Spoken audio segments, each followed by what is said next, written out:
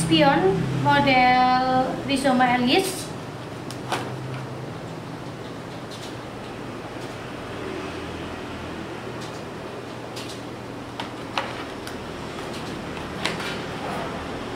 Ini kita mau kirim ke Bro Boy di Malang, Jawa Timur.